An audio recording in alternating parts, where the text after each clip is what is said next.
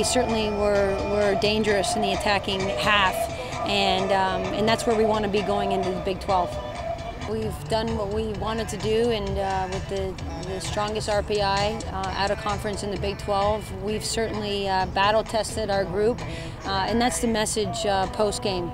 Um, in fact, the team responded uh, to me and told me that it was the message is we can't take a possession off, can't take 10 seconds off, or you'll be punished. And I think that um, our opposition in this is at a conference has really tested us. And uh, for a team uh, that is as young as our team, uh, these lessons are going to be invaluable.